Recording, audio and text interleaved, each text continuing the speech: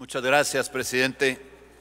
Miren, no puedo más que suscribir las, las palabras que, de mi compañero que acabamos de escuchar.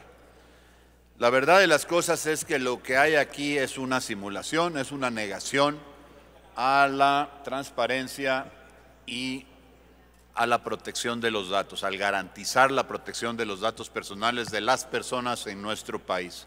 Ojo, no estamos hablando solamente de revisar al gobierno, estamos que eso ya sería suficiente razón, sino además estamos hablando de que se protejan los datos de las personas en este país. ¿De quiénes? De todos. Así de claro es. Les quiero hacer un breve recordatorio de cómo se ha formado la simulación y cómo han engañado y se han burlado, ¿sí? Morena y sus aliados de la Corte. El 31 de marzo del 2022, prácticamente hace dos años, dos años hace ya, que vencieron el nombramiento de dos personas, el de, comisionados del INAI. Dos años tiene. El primero de marzo de 2023, o sea, un año nos tomó apenas nombrar a dos para poderlo reemplazar. ¿Y saben qué pasó? Que el 22 de marzo, o sea, del 1 al 22, el presidente los vetó, porque sí, no le gusta la transparencia, no le gusta la rendición de cuentas, no le gusta que se sepa lo que está pasando ahora en el tren Maya y que nos tenemos que enterar por un periodista, cuando deberíamos de enterarnos de manera natural simplemente con una solicitud de acceso a la información. Ah, no, además, por si fuera poco, no habiendo INAI, pues también lo declara como una obra de seguridad nacional, cosa que es absurdo. Desde se vio ahí la intención del presidente de estar en contra de la transparencia y de la rendición de cuentas. No quiere que se sepa qué pasa con los dineros en este país.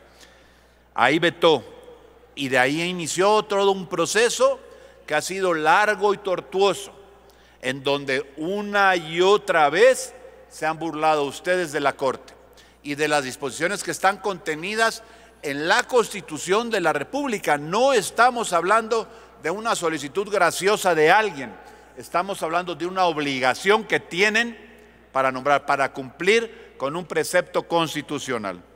El 27 de marzo se presenta una controversia por parte del INAI, como su derecho le correspondía, para poder inconformarse respecto al impedimento de tener a su quórum completo y poder funcionar adecuadamente con todos sus comisionados, que deben de ser siete.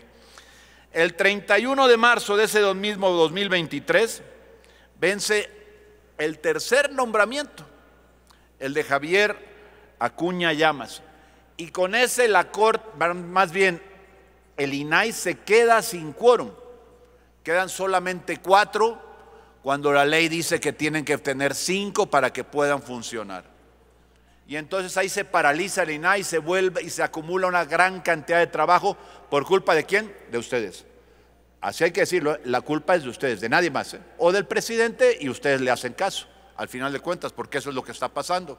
Ustedes como son realmente los súbditos del presidente, y perdón que lo diga así, pero es que así es como lo ve la gente, así es como lo vemos muchos, que al final son realmente los mandados del Poder Ejecutivo, no son legisladores, no son legisladores. Pues qué, qué, qué malo que sea un honor tener que estar obedeciendo arbitrariedades, negándole a los mexicanos la posibilidad. Y ahí se levantan todos, faltan algunos. Levanten la mano Le pido todos. a la Asamblea.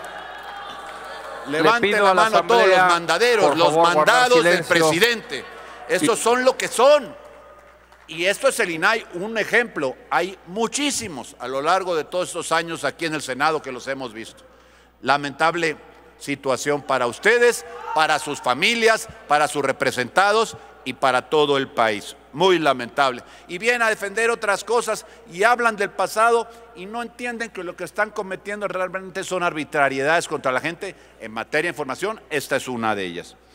Y luego tenemos el 18 de julio en donde el Senado se ve obligado, por una resolución de la Corte, y ojo, digo se ve obligado porque así está la resolución, Aquí está la copia de la resolución y donde manda al Senado, ojalá le hicieran una pequeña parte de caso a la Corte lo que le hacen a su jefe superior, a su Tlatuani que tienen ahí en Palacio Nacional. Aquí dice, se obliga a que se designe, ocupa esos términos, que se designe. No dice que se abra otra convocatoria, que se tenga que llevar a cabo otro proceso para quién sabe Dios cuándo puedan nombrarlos, si es que les da la gana. No a ustedes, perdón, a quien los manda, a quien se ven ustedes obligados a obedecer siempre ciegamente. Es triste que esto se dé así, pero es como está funcionando hoy el Senado de México. Hoy lo que pedimos, y toda esta perorata viene a cuento porque no estamos de acuerdo, y por supuesto, en mi condición de coordinador del PAN, no voy a firmar jamás ese acuerdo de la Junta de Coordinación Política para lanzar otra nueva convocatoria.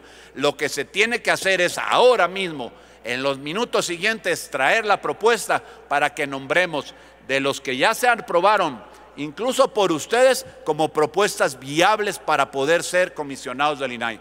Los hombres y las mujeres, ahí están para escogerlos de ahí, para cumplir con una obligación constitucional. No rehuyan a ese mandato, la ley se los pide, la Corte se los está demandando. ¿Qué hace falta?